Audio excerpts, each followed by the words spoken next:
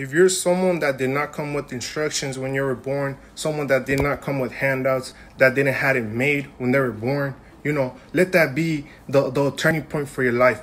Let that be the reason why you are who you are. Make sure that the characteristics that made you the way that you are be the best that you can be. You know, that's what's the difference of successful people that make it out out of the gutter compared to people that already had it made and still is made. You know what I'm saying?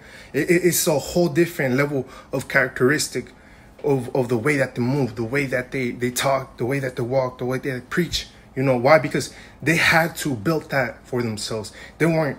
They didn't. They didn't just were born and and had it made. They they didn't come with instructions. Be like, look, this is gonna be you. This is gonna be this. Why? Because I was that. So there, therefore, you know, that's you. Nah.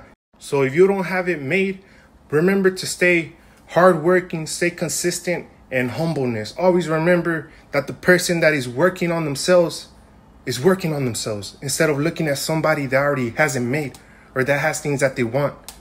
Don't compare yourself to nobody. You were not you did not live in their shoes.